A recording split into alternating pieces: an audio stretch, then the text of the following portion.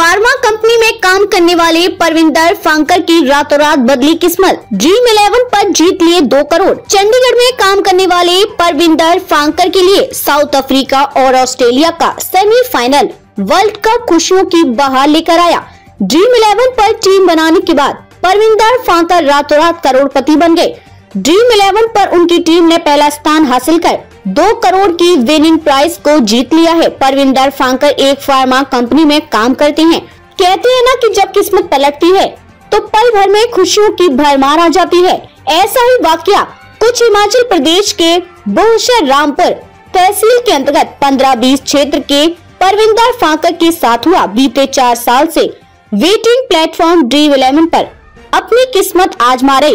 परविंदर फांकर गुरुवार को करोड़पति हो गए। गुरुवार को साउथ अफ्रीका और ऑस्ट्रेलिया के बीच हुए वर्ल्ड कप सेमीफाइनल मुकाबले में परविंदर फांकर ने ड्रीम इलेवन पर अपनी टीम बनाई उनकी टीम पहले नंबर पर आ गई, जिसके बाद वो दो करोड़ रुपए जीत गए रामपुर तहसील में इतनी ज़्यादा राशि जीतने वाले परविंदर अभी तक पहले व्यक्ति हैं। परविंदर चंडीगढ़ में एक फार्मा कंपनी में कार्यरत हैं।